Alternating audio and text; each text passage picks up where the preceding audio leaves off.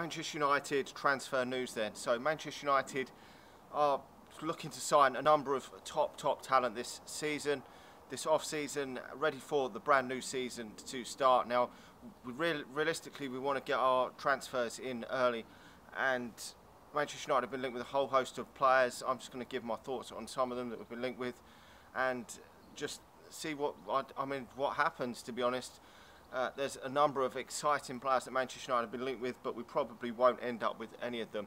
Now, where, where do you start? I mean, we've been linked with a number of attacking options and defensive options, as well as some in midfield. Now, we've got a number of, we've got six attacking options at Manchester United already, and the attacking options that we're being linked with today is Felix, however you pronounce it, of Benfica, who scored a lot of goals this season and created a number of goals for Benfica in their title winning campaign, only 19 years of age.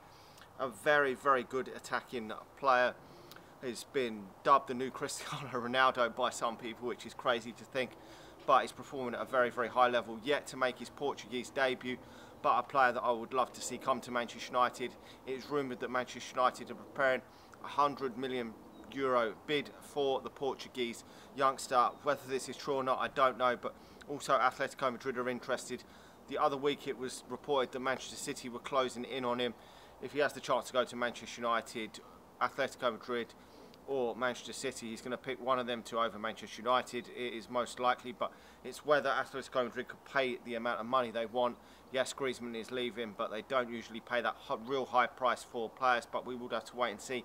But a player that I would definitely, definitely would, would consider taking at Manchester United most definitely in the attacking areas. Now, other attacking options that Manchester United have been linked with in this past couple of weeks, Nicolas Pepe at Lille, player playing in the French league, scored I think 20, over 20 league goals for them this season.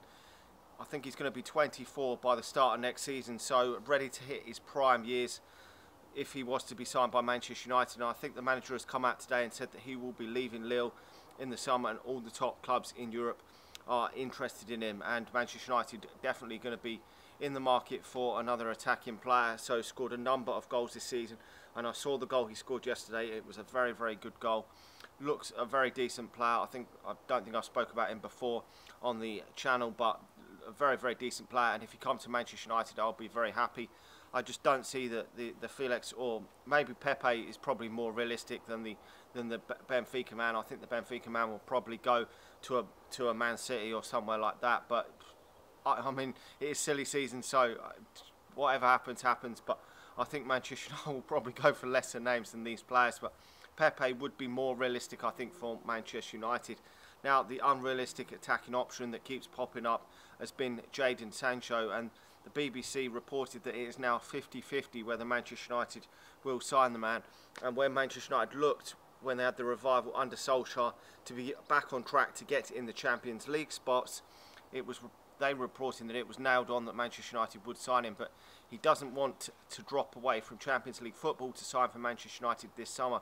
But a crazy goal and assist return from Sancho this season has seen him being taught as a hundred million pound player, a player who I would definitely have liked to see Manchester United sign. But this one seems very unrealistic, uh, more unrealistic now than, eh, than either of the other two if I was to say which one I would think Manchester United would get would be Pepe out of the three three options for Manchester United. Now we've uh, seen a whole host of other players linked to Manchester United in, in the defensive areas as well as midfield but the, the last few days it's been been mainly defenders that have been been taught for Manchester United. Now the BBC are reporting that Wan-Bissaka who the centre the centre half and right back are the main positions that Manchester United need to, to be, be signing.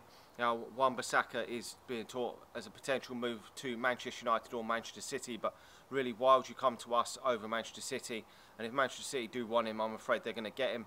It's reported that Crystal Palace are willing to sell him for 60 odd million pounds, which is a lot of money, but he is the best defensive right back in the Premier League and would slot straight in ahead of Ashley Young.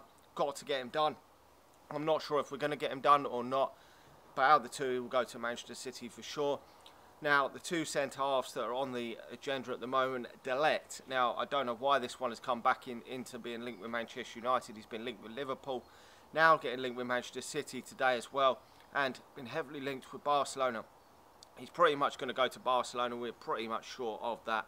I can't see anything other than that. But for some reason, he's saying that Manchester United could be a project that he's looking to, to get into. I just I just don't believe this. If I was rating this one, it would be like one or two out of ten. I can't see this happening unless Manchester United go and sign another two or three world-class players in other positions. Then I, can't, I just can't see this happening because then that would probably bolster his chance, the chances, and he might think, hang on a minute, they're they're going places, they're signing world-class players, but I, I can't see this one happening. I really can't. The other centre half is still Kalidou Koulibaly.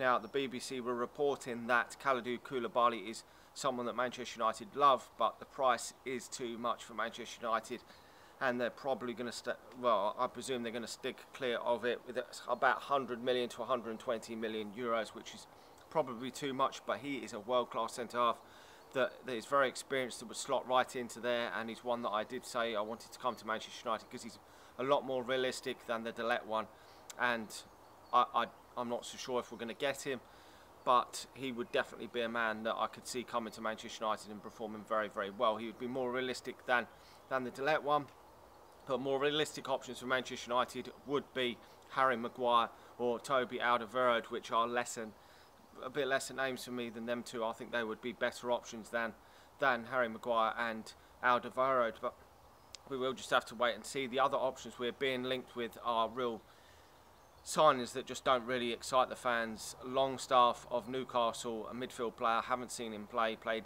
about eight times for Newcastle last season, so not really exciting me there. And the other one is Daniel James from Swansea, who got about four goals and about six or seven assists for Swansea last season. I did watch him on YouTube, a very, very fast player for Swansea, but would he even get into the Manchester United team at the state it is now? And I'm unclear on that. He's 21 years of age and has got a worse goals return than Marcus Rashford and Anthony Martial, who get a number of people criticising them. So I, I just don't think that would be a plus if Manchester United signed him. But I do believe that that is a signing that could well happen. The talk is in the region of 15 million pound for him, and I do think that that could definitely happen. And that's my thoughts on the transfers we're being linked with.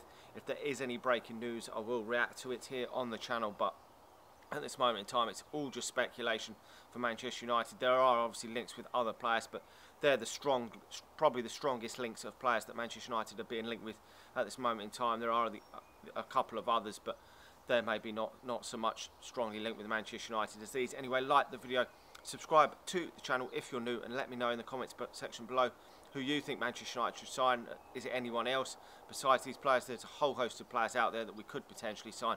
Like the video, subscribe to the channel if you're new, and I'll talk to you all again soon. See ya.